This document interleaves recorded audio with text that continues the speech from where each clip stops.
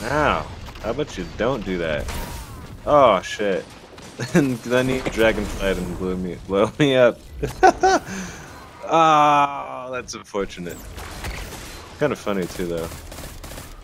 Teammate got dragonflied and it killed me. Oh, point blank.